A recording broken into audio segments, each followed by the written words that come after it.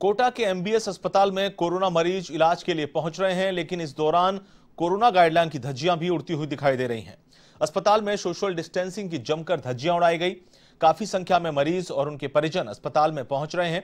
लोग लंबी कतारों में बिना सोशल डिस्टेंसिंग का पालन करे खड़े हैं। लोगों का कहना है कि लंबी कतारों में घंटों इंतज़ार के बाद भी उनका नंबर नहीं आ रहा है।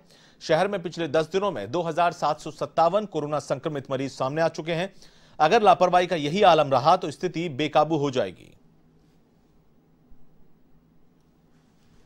मर्ज बढ़ता गया जो जो दवा की। ठीक इसी तर्ज पर कोटा शहर में कोरोना के हालात भयानक होते जा रहे हैं।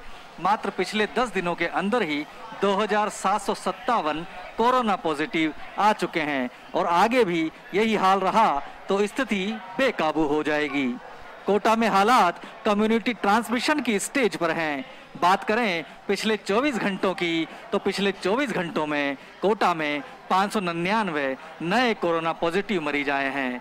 यह इस साल का सबसे बड़ा रिकॉर्ड है कि शिक्षा नगरी में 100 में से 18 लोग पॉजिटिव निकल रहे हैं। ऐसे में एमबीएस प्रशासन की ये घोर लापरवाही कोरोना का इलाज कम, उसे बांटती ज़्यादा नज़र आ रही है।